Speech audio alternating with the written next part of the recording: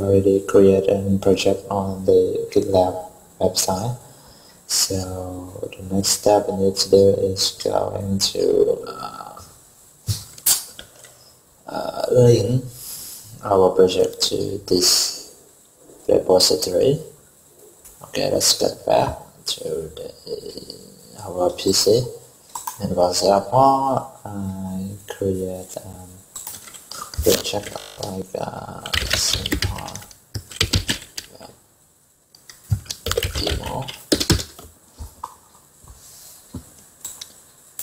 and inside that I want to create uh, that done. Sorry uh,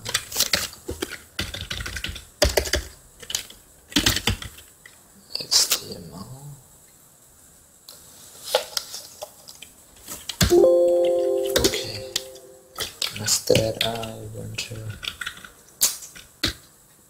um yeah I did it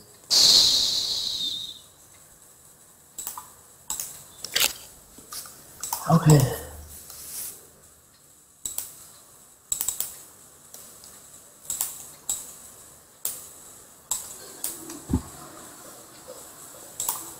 Now I just select some code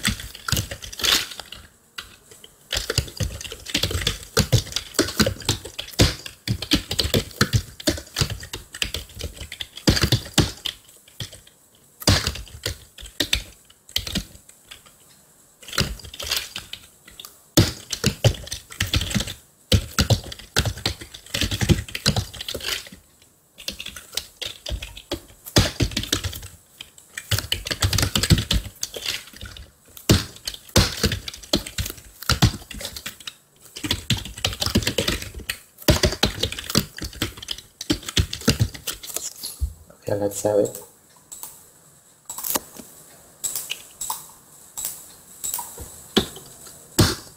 So now I have one file so I need to uh, push uh, yeah for example we assume this folder is our project. So uh, this project I have one file in that HTML so I want to push uh, this project into my uh, repository so now I'm just going to um, git. We need to install git to your machine so here when I visit I will see this file. So what we need to do is go into GitLab to see the instruction how to import this project into uh, GitLab so when, when we create a new project on that you will see the instruction below. So um, yeah. Here is if we don't have uh, any folder we can use this command. But actually we have a folder already. So we need uh, change directory to our current folder as I show you is here.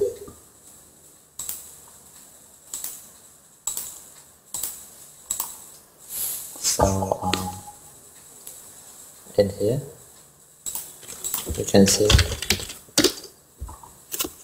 Yeah I'm on the desktop. So now what I need to do is follow the instruction I can say git init tap it you will see initialize into the repository in this part. So when we list again you will see here it means we already have git installed in this folder.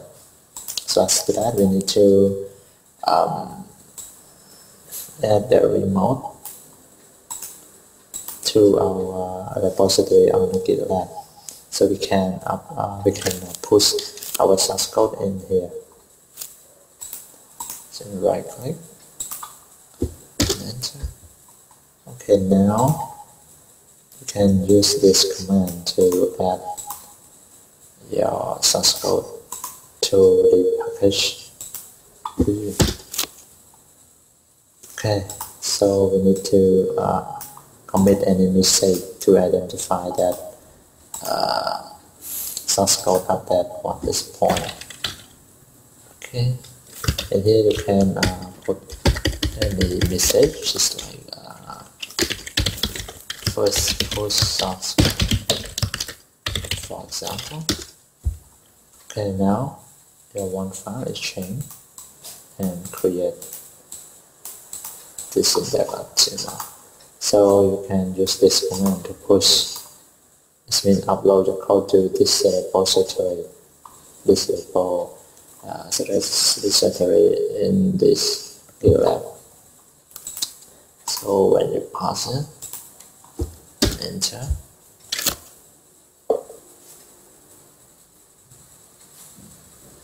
Okay, it will asking you about the uh, username or password and password to uh, to uh, I mean to authentication to upload to that this repository to identify that you are really uh, belong to this repository or not.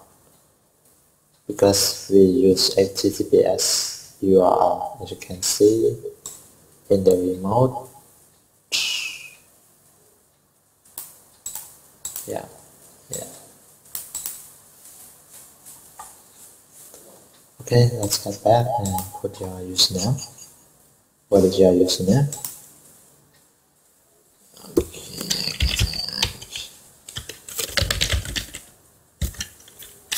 what is your um,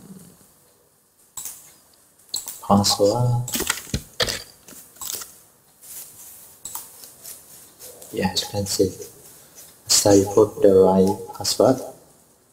It will set up track remote and push and upload successfully to the repository. So when you load it you will see that file. Okay you can see here this is the file